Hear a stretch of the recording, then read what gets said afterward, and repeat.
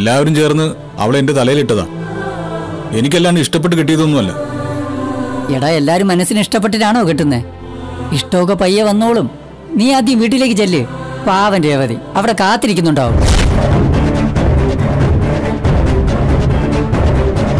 സാറേ ബുക്കും പേപ്പറൊക്കെ ഓക്കെയാണ് സാർ. അടിക്കും തുറന്നേ. എന്താടാ ഇതിൽ?